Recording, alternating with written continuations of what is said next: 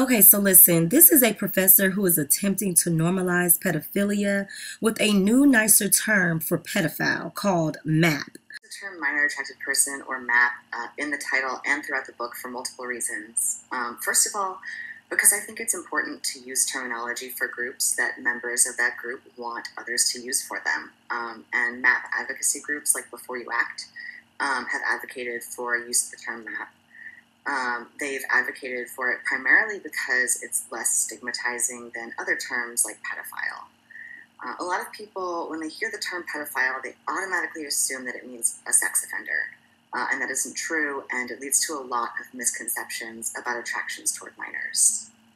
Um, I've definitely heard the idea that you brought up, though, that the use of the term minor attracted person suggests that it's okay to be attracted to children. Uh, but using a term that communicates who someone is attracted to doesn't indicate anything about the morality of that attraction. Um, and non offending maps, by definition, do not abuse children, so their behaviors are moral. Um, but they're still being subjected to this same idea that they're bad people, and they've often internalized that for themselves.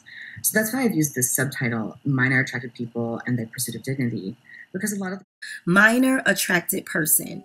And he is also a part of a foundation that is called Prostasia, where other weirdos agree with him. They are all disgusting and devils, okay? Evil people, if you ask me. I don't care. If you are attracted to a child, there's something wrong with you. Living in this era as a parent, we have to work a thousand times harder, and I mean a thousand times harder, to protect and guard our children from the devils that are hiding in plain sight that are out lurking to harm your children. But this is the very reason why pedophilia will never end because the victims will either grow up doing what was done to them to others or it could turn around for them to liking the same sex or they could become addicted to porn okay sex a sex addict all right this is what happens to children when they are you know, molested and harmed by pedophiles. Leave the children alone, okay?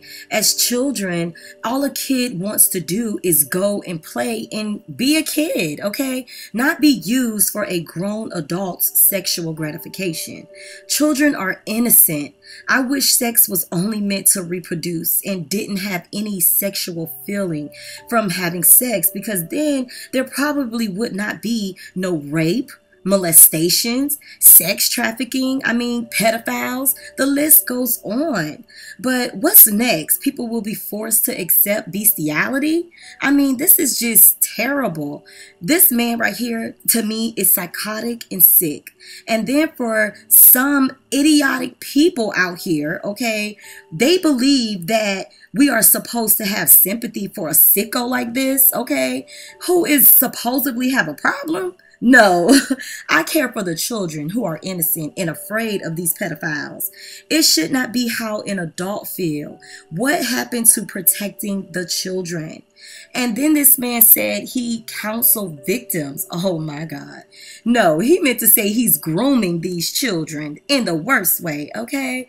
But the most terrible part about this is the fact that there are people who feel bold and proud and safe enough to openly say that they are pro pedophiles in this world, okay, with no care online is very disturbing.